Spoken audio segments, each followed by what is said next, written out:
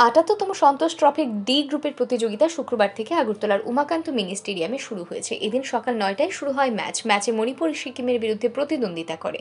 ম্যাচের শুরু থেকেই অপেক্ষাকৃত দুর্বল সিকিমকে চেপে ধরে শক্তিশালী মণিপুর।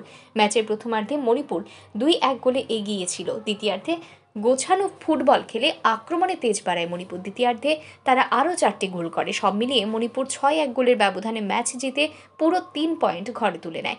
আগামী সতেরো নভেম্বর মণিপুর দ্বিতীয় ম্যাচে মিজোরামের বিরুদ্ধে প্রতিদ্বন্দ্বিতা করবে। Bureau report, R E News.